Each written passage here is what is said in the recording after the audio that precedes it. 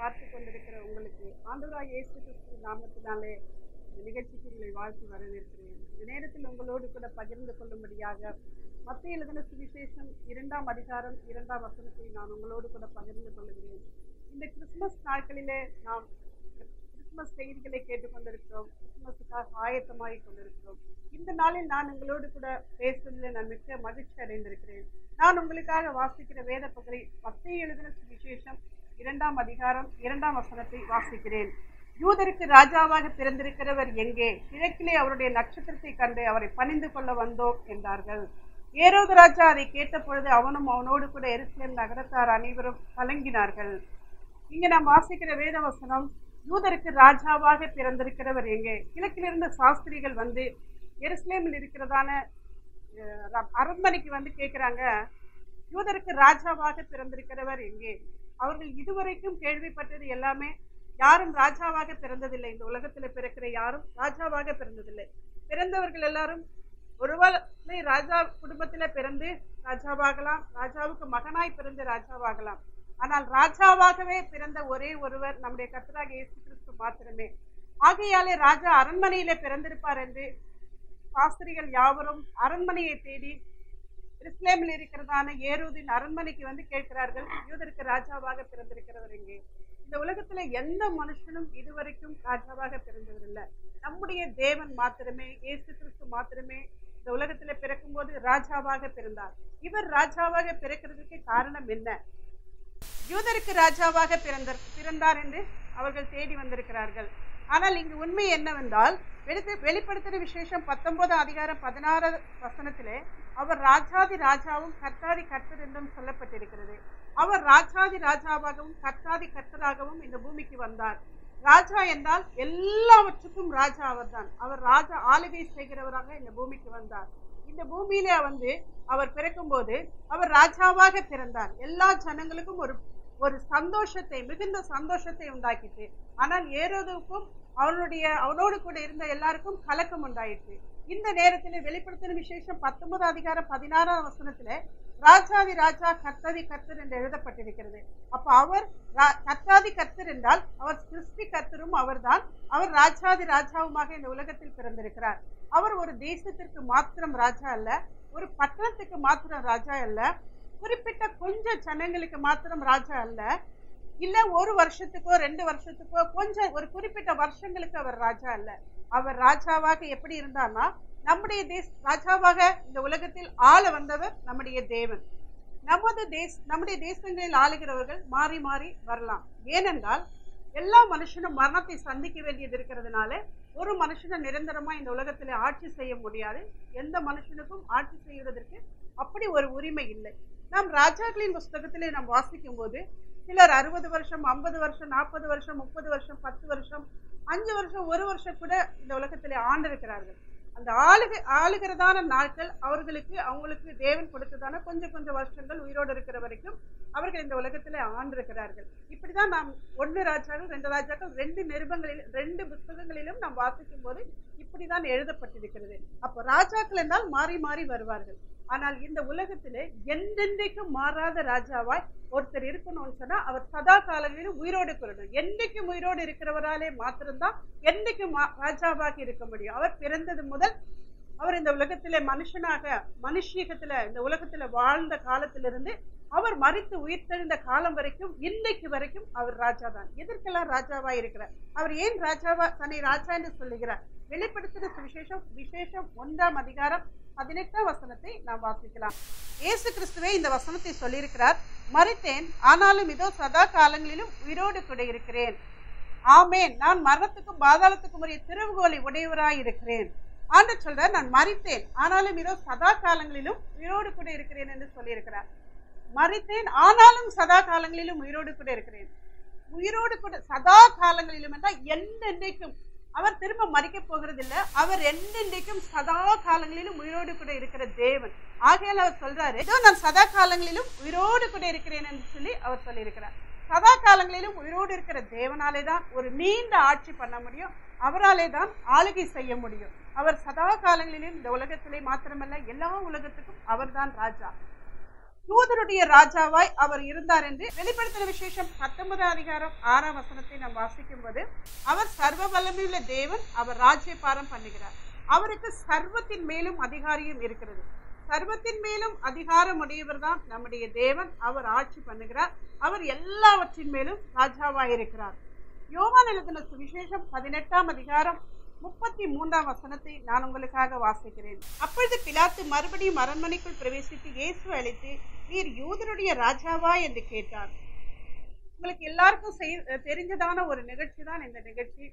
இந்த இந்த பகுதியில் வாசிக்கிறதான இந்த வேத வசனம். பிலாத்து இயேசுவை கூப்பி- கூப்பிட்டு நீர் யூதருடைய ராஜாவா? என்று கேட்டார். இயேசுவை சிலுவை மரணத்துக்கு முன்பாக கூப்பிட்டு பிலாத்து கேட்கிறதான ஒரு கேள்வி நீர் யூதருடைய ராஜாவா? என்று சொல்லி. அப்பொழுது இயேசு என்ன சொல்லுகிறார்? இயேசு அவனுக்கு பிரதித்திரமாக நீரா இப்படி சொல்லுகிறீரோ? அல்லது மற்றவர்கள் என்னை குறித்து இப்படி உமக்கு சொன்னார்களோ? என்றார். பிலாத்துக்கு பிரதித்திரமாக நான் யூதனா? உன் ஜனங்களும் பிரதான ஆசாரியரும் உன்னை எண்ணத்தில் ஒப்பு கொடுத்தார்களே நீ என்ன செய்தா என்றார். ஏசு பிரதித்திரமாக என் ராஜ்யம் இவ்வுலகத்துக்குரியதல்ல. என் ராஜ்யம் இவ்வுலகத்துக்குரியதானால் நான் யூதரிடத்திலே ஒப்புக்கிடாத படிக்கு என் ஊழியக்காரர் போராடி இருப்பார்கள். இப்படி இருக்க என் ராஜ்யம் இவ்வுலகத்துக்குரியது அல்ல என்றார். இந்த உலகத்துக்குரியது அல்ல என் ராஜ்யம் அல்ல என்று சொல்லி முப்பத்தி ஏழாம் வசனத்துல அப்பொழுது பிலாத்து அவரை நோக்கி அப்படியானால் நீர் ராஜாவோ? என்றான். ஏசு பிரதியுத்தரமாக நீர் சொல்லுகிறபடி நான் ராஜாதான். சத்தியத்தை குறித்து சாட்சி கொடுக்க பிறந்தேன். இதற்காகவே இந்த உலகத்திலே வந்தேன். சத்தியமான எவனும் என் சத்தம் கேட்கிறான் என்றார். இயேசு சொல்லுகிறார் நான் சத்தியத்தை குறித்து சாட்சி சொல்லும்படிக்கு இந்த பூமிக்கு வந்தேன். அதற்காக இதற்காகவே நான் பிறந்தேன் என்று சொல்லி ஒரு சத்தியமுள்ள ராஜாவாய் அவர் இந்த உலகத்துக்கு வந்தார். இந்த உலகத்தில் இருக்கிற எந்த மனுஷனும் தன்னுடைய ஆளுகையில உண்மையா இருக்கிறார்கள் சத்தியமுள்ளவர்களா இருக்கிறார்கள் என்று சொல்ல முடியாது. இந்த ராஜா சத்தியத்துக்காக சாட்சி கொடுக்க வந்தவர். பிலாத்து நினைச்சார் ஏதோ ஒரு விஷயத்துக்காக இவர் சாட்சி இவர் வந்து ராஜாவாக இருக்கிறார் சத்தியமாவது என்ன என்று கேட்கிறார். அவருக்கும் சத்தியத்துக்கும் ஒரு ஒரு சம்பந்தம் இல்லாதபடி முப்பத்தி எட்டாம் வசனத்துல அதற்கு பிலாத்து சத்தியமாவது என்ன என்றார். மறுபடியும் அவர் யூதர்களிடத்தில் வெளியே வந்து நான் அவரிடத்தில் ஒரு குற்றமும் காணேன் என்று சொன்னார். அவர் சத்தியத்துக்காக சாட்சி கொடுக்க வந்தேன் என்றார் பிலாத்துக்கு அந்த விஷயம் எதுவும் புரியாதனால அவர் வந்து சத்தியமாவது என்ன சத்தியத்தை பற்றி தானே புரிதல்? அந்த பிலாத்துவுக்கு இல்லாததுனால அவரால் ஒன்றும் மறுபடி பேச முடியவில்லை. அப்போ ஏசு கிறிஸ்து இந்த பூமியில சத்தியத்துக்கு சாட்சியாக வந்தவர். இந்த உலகத்தில் ஆளுகிற எவர்களும் இந்த நாளில சத்தியம் உள்ளவர்கள் என்று நாம் சொல்ல முடியாது. ஆகையால சத்தியமுள்ள தேவன் எல்லாவற்றையும் ஆளுகிற சர்வ வல்லமையுள்ள தேவனாய் இருக்கிறார். அவர் இந்த பூமியில் இருக்கிற சூரியன் மீதும் சந்திரன் வானத்தில் இருக்கிற சூரியன் மீதும் சந்திரன் மீதும் நட்சத்திரங்களையும் தேவ தூதர்களையும் பூமி அனைத்தையும் பூமியில் இருக்கிறதான எல்லா மிருகங்கள் சமுத்திரம் எல்லா பறவைகள் எல்லாவற்றின் மேலும் அவருக்கு ஆளுகை உண்டு. மனிதர்களையும் பூமியில் இருக்கிற சகலவற்றின் மேலும் அவருடைய ஆளுகை இருக்கிறது. பாதாளத்திலும் அவருடைய ஆளுகை. நாம் காண்கிற இந்த உலகத்திலும் காணாதிருக்கிற அந்த உலகத்திலும் எல்லாமே அவரோட கண்ட்ரோலுக்குள்ள அவருடைய ஆளுகைக்குள்ள அவருடைய திட்டத்துக்குள்ளதான் இருக்கு. தேவனை அல்லாமல் எந்த ஆளுகையும் இல்லை. எல்லா விதமான ஆளுகையும் வைத்திருக்கிறவர் இயேசு மாத்திரமே. நாம் நினைக்கலாம் இவர் ரெண்டாயிரத்தி பதினெட்டு வருஷங்களுக்கு முன்பாக தானே பிறந்தார். அப்படி என்றால் இவர் இப்பொழுதுதானே ராஜா என்று அப்படி அல்ல. சர்வ சிருஷ்டிகராக இருக்கிறார் அவர். சர்வத்தையும் உருவாக்கினவர் அவர். அவர் மனுஷனுக்காக இந்த பூமியில மனுஷனுடைய பாவங்களுக்காக மனுஷனை மீட்டுக் கொள்வதற்காக அந்த காலத்தில் இருக்கிற மனுஷனை மீட்டுக் கொள்வதாக அவனுடைய வாழ்க்கையில ஒரு சந்தோஷத்தை உண்டாக்கும் பொருட்டு இந்த பூமியில இருக்கிற எல்லா மனுஷனுக்கும் சந்தோஷத்தை உண்டாக்கும் பொருட்டு ஒரு மிகுந்த சந்தோஷத்தை உண்டாக்கும் பொருட்டு ஈஸ்ட் இந்த பூமிக்கு ராஜாவாக பிறந்தார். அவர் இந்த பூமியில இருக்கும்போது கடல் கழற்றும் கடலும் அவருடைய அவருடைய சத்தத்துக்கு கீழ்ப்படிந்தது. மரணம் அவருக்கு கீழ்ப்படிந்தது. பாடையை தொட்ட பொழுது வாலிபன் எழுந்திருந்தான். ஆண்டுடைய அற்புதமான கரம் அந்த இடத்துல செயல்பட்டது. அவர் தேவனாகவும் மனுஷனாகவும் இந்த பூமியில அவர் வாசம் பண்ணினார். அவர் ராஜாவாகவே இருந்தார். பிசாசு அவர்களை அவரை பார்த்து நடுங்கினது.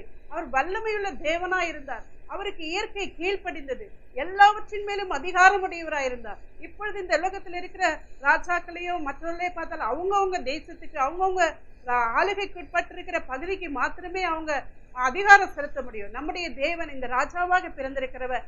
சர்வத்தின் மேலும் இயற்கையின் மேலும் இந்த பூமியில பார்க்கிற எல்லாவற்றின் மேலும் ஒவ்வொரு மனுஷன் மேலேயும் நாம இந்த நாளில் இருந்த காற்றின் மேலேயும் அவருக்கு தான் அதிகாரம் உண்டு. ஒருவேளை இந்த காற்று நமக்கு அடிக்காமல் இருக்குமானால் இந்த காற்றை கண்ட்ரோல் பண்ணுகிற தேவன் இவைகளை நிறுத்தி வைப்பாரானால் இந்த உலகத்தில் எந்த மனுஷனும் வாழ முடியாது. எருசலேம் தேசத்தில் இருக்கிறதான பெத்லகேமில் பிறந்தார் என்று நம்ம வாசிக்கிறோம். ஆனா பெத்லகேமில் அல்ல. இன்றைக்கு உங்களுடைய உள்ளத்திலும் என்னுடைய உள்ளத்திலும் அவர் பிறக்கும்போது அவர் நமக்கு வேண்டிய எல்லாவற்றையும் நீதியாய் அரசாளுகிற தேவனாய் இருக்கிறார். உலகத்தில் இருக்கிற மனுஷன் ஒருவேளை தன்னுடைய பணத்தினாலேயோ பத்- பதவினாலேயோ உங்களை ஜெயிக்க பார்க்கலாம். ஆனா நீதியின் ராஜா உங்களுக்கு நீதி செய்கிற தேவனாய் இருக்கிறார். ஆகையால் நீங்க இந்த வருஷத்துல பார்க்க போறது உங்கள் பட்சமாய் ஒரு நல்ல தீர்ப்பை ஆண்டவர் தருவார். சதா காலங்களிலும் அவர் அரசாட்சி செய்கிறபடினால அவர் ராஜாவா இருக்கிறபடினால நேற்று இருந்தவர் இன்று இல்லாமல் இல்ல நேற்று இன்னும் என்று மாறாதவராய் இருக்கிறார். அவர் மாறாதவர் இருக்கிறபடினால் இந்த ராஜா உங்களுடைய உள்ளத்துல பிறக்கும் போது உங்களுடைய காரியங்கள் ஒன்றுமே மாறாமல் இருக்கும். எல்லாமே சரியாக இருக்கும். அவர் உங்களுடைய வாழ்க்கையில அரசாளுகிற தேவனாய் அவர் உங்களுக்குள்ளே இருக்கிறார். சதா காலங்களிலும் அரசாளுவாராய் இருக்கிறார். ஏசுன்னு சொல்லி நீங்க கூப்பிடுவீங்களா? இது ஒரே ஒரு நாமம் தான் ஏசுங்கிற நாமம் உங்க வாழ்க்கையில பயங்கர விடுதலையை கொடுக்கக்கூடியதா இருக்கிறது. இந்த நாமத்தை நீங்க வாஞ்சித்து கே தேடுவீர்களானால் இந்த நாமத்தை நோக்கி கூப்பிடும் போது இந்த நாமமே என்னுடைய வாழ்க்கையில விடுதலையை உண்டாக்கும் என்று நீங்க விசுவாசிச்சு அந்த நாமத்தை நீங்க கூப்பிடும் போது அந்த நாமம் அந்த நாமத்தை அந்த நாமத்தையுடைய தேவனே என்று நீங்க கூப்பிடும் போது உங்க வாழ்க்கையில இருக்கிறதான அநீதிகள் எல்லாம் மாறி நீதி உங்க பக்கத்துல வரக்கூடியதா இருக்கிறது. உங்க பக்கத்துல நீதி ஆண்டவர் கொண்டு வருகிற தேவனா இருக்கிறார். அவர் நீதியின் ராஜாவாக என்றென்றைக்கும் ஆட்சி செய்கிறவரா இருக்கிறார். ஆகையால் நாம் அந்த நீதி உள்ள தேவனுடைய அந்த ஆளுகையை நம்ம பார்க்க போகிறோம். இந்த மாதத்துல வேதத்துல சொல்லியிருக்கிறது நீதிமான்கள் பூமியை ஆளும்போது ஜனங்கள் மகிழ்வார்கள் என்று. அப்ப நம்ம மகிழ்ச்சியை பார்க்கணும்னு சொன்னா நம்முடைய தேசத்துல ஒரு நல்ல ராஜா வரணும். நம்முடைய தேசத்துல ஒரு நல்ல ஆளுகர் வரணும். இந்த உலகத்துல நல்ல மனுஷர்களை நம்ம பார்க்கிறது மிகவும் அரிதா இருக்கிறது. ஆகையால நம்மளுக்கு நம்முடைய சொந்த ஜீவிதத்துக்கு நம்முடைய சொந்த ஓன் ஓன் லைஃபுக்கு நம்முடைய சொந்தமான நம்ம நம்முடைய வாழ்க்கைக்கு வேண்டிய ஒன்று என்னவென்றால் ஏசு கிறிஸ்து நம்முடைய வாழ்க்கைக்கு வரும்போது நம்மளை அவர் ஆள ஆரம்பிக்கிறார். அவர் ஆளும்போது இந்த சூழ்நிலைகள் எல்லாமே மாறி போய் நம்ம நம்ம நீதியை பார்க்க முடியும். இயேசு என்று சொல்லி உங்கள் வாழ்க்கையில் நீங்கள் கூடும்போது நிச்சயமாகவே ஒரு அற்புதத்தை அவர் செய்யக்கூடியவராக இருக்கிறார். இந்த நேரத்தில் நான் உங்களுக்காக நான் இந்த இந்த நீதி கிடைக்காமல் வருத்தத்தோட கவலையோட கண்ணீரோடு கூட இந்த விஷயத்திலிருந்து எனக்கு நீதி கிடைக்காதா? இந்த குடும்ப விஷயத்தில் நீதி கிடைக்காதா? என்னுடைய பெற்றோர்கள் பகுதியில் எனக்கு வர வேண்டிய நன்மைகள் கிடைக்காதா? எனக்கு கிடைக்க வேண்டிய நன்மைகள் அரசாங்கத்திலிருந்து கிடைக்காதா? எனக்கு எனக்கு வர வேண்டியதான ஒவ்வொரு காரியங்களும் தடை இருக்கிறது எனக்கு ஒரு நீதி உண்டாகாதா என்று கேட்கிறார். ஆண்டர் சொல்லுகிறார் இந்த நீதியின் ராஜா உங்களுடைய வாழ்க்கையில வரும்போது ஏசு கிறிஸ்து இந்த வருஷத்துல ஒரு ராஜாவா உங்களுடைய உள்ளத்துல பிறக்கும்போது சூழ்நிலைகள் எல்லாம் மாறும். நான் உங்களுக்காக ஜெபிக்க விரும்புகிறேன். நான் இந்த நேரத்தில் உங்களுக்காக நான் வேண்டிக் கொள்ள விரும்புகிறேன். ஆண்டோடாக இயேசு கிறிஸ்துவின் நாமத்தினால இந்த நேரத்துல நம்ம எல்லாரும் சேர்ந்து அவருடைய நாமத்தை நாம சேர்ந்து கூப்பிடுவோம். நல்ல பிதாவே ஆசீர்வதிக்கப்பட்டதான இந்த நல்ல சமயத்தில் ஆண்டவரே இந்த பிள்ளைகளுக்காக நாங்கள் ஜெபிக்கிறோம் ஆண்டவரே. இந்த நிகழ்ச்சியை கேட்டுக்கொண்டிருக்கிற பார்த்து கொண்டிருக்கிற கர்த்தாவே ஆண்டவரே பிள்ளைகளுக்காக நாங்கள் ஜெபிக்கிறோம் ஐயா. அவங்க எப்படிப்பட்ட சூழ்நிலையில் இருந்தாலும் அவங்க எந்த விதமான சூழ்நிலையில் அவங்க ஆண்டவரே மாட்டிக்கொண்டு இருந்தாலும் நீங்கள் விடுவிக்கிறவராக இருக்கிறீர் ஐயா. இந்த பூமியில் நீங்கள் இறங்கி வந்ததுக்கு ஒரே ஒரு நோக்கம் நீர் விடுவிக்கிற தேவன் ஆண்டவரே. சூழ்நிலைகளிலிருந்து எல்லா எல்லாம் அவர்களை விடுவிப்பீராக கர்த்தாவே. எல்லா காரியங்களிலிருந்தும் அவர்களை விடுவியும் ஆண்டவரே. உங்களுடைய வல்லமை ஒவ்வொரு குடும்பங்களுக்குள்ளே இப்பொழுது இறங்கட்டும் ஆண்டவரே. அந்த கட்டுகள் எல்லாம் முறிந்து போவதாக அந்த சூழ்நிலைகள் மாறி போவதாக நீதி உண்டாவதாக விடுதலை உண்டாகட்டும் ஆண்டவரே. ஏசு கிறிஸ்துவின் நாமத்துல நாங்க கேட்கிறோம். தடைகள் எல்லாம் முறிந்து போவதாக வர வேண்டிய பணங்கள் வர வேண்டும் ஆண்டவரே. ஆண்டவரே அவங்களுக்கு நீதியா இருக்கிறதான அந்த மனுஷனுடைய பக்கத்துல கத்தாவே உம்முடைய நீதியை நீர் விளங்க பண்ண வே- பண்ண வேண்டுமாய் நாங்கள் ஜெபிக்கிறோம் ஐயா. அநீதியாய் ஒருத்தர் மாட்டிக்கொண்டாலும் அவர்களையும் விடுதலை ஆக்குவீராக கத்தாவே நீ நீதிமான கல்ல அன்றைய பாவிகளை ரட்சிக்க இந்த உலகத்துல வந்தீராண்டவரே பாவிகளை பாவிகளாய் இருக்கிற ஒவ்வொரு பேருக்காகவும் ஆண்டவரே நீர் இந்த உலகத்துல வந்திருக்கிறபடினால எல்லா மனுஷனுக்கும் ஆண்டவர் நீதி கொடுப்பீராக விடுதலை ஆக்குவீராக சூழ்நிலைகளை மாற்றுவீராக கர்த்தாவே. அற்புதம் செய்யுங்க ஆண்டவரே. உங்களுடைய அற்புதமான குரு கரம் இந்த நேரத்தில் எல்லா குடும்பங்களுக்குள்ள அப்படியே இறங்கி எல்லாரையும் தொட்டு தேவன் அவர்களுக்கு இந்த வருஷத்துல ஒரு வெற்றியை உண்டு பண்ணுகிறபடினாலும் துதிக்கிறோம். இந்த கிறிஸ்துமஸ் நாளில் இந்த செய்தியை கேட்கிற ஒவ்வொரு குடும்பங்களுக்கும் ஒரு விடுதலை உண்டாகும்படியா நாங்கள் செபிக்கிறோம் இயேசுவே உடைய கரத்துல கொடுக்கிறோம். இயேசுவின் நாமத்தில் கொடுக்கிறோம் Thank you.